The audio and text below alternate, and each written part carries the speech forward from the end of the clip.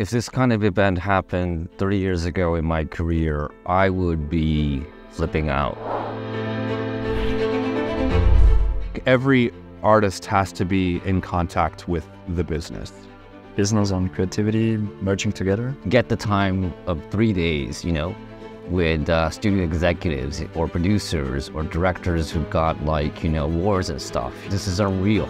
It doesn't happen in a normal environment. It's going to help them uh, chart a course for the future. Three words I would use to describe this event Creativity, happiness, nature, innovation, inspiration, community, community, Community. community, community.